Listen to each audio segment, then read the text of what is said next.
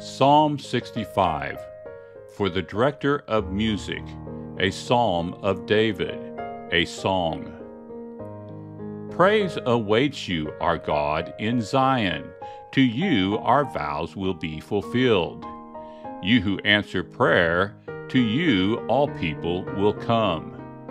When we were overwhelmed by sins, you forgave our transgressions. Blessed are those you choose and bring near to live in your courts. We are filled with the good things of your house, of your holy temple.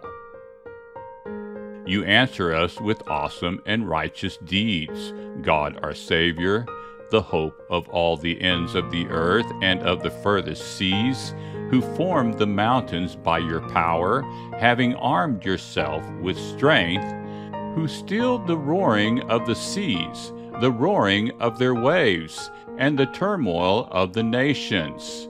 The whole earth is filled with awe at your wonders. Where morning dawns, where evening fades, you call forth songs of joy. You care for the land and water it, you enrich it abundantly. The streams of God are filled with water to provide the people with grain, for so you have ordained it.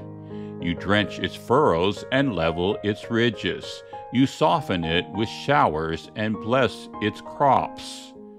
You crown the year with your bounty, and your carts overflow with abundance.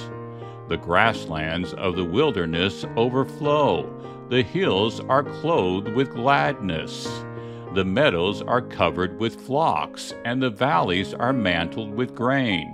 They shout for joy and sing.